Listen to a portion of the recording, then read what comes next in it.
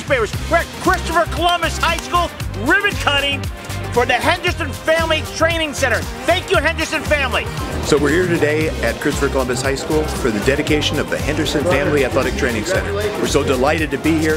This gave us an opportunity to bring together the Columbus family again as we cut the ribbon on this amazing facility that our thousand student athletes will be using every day.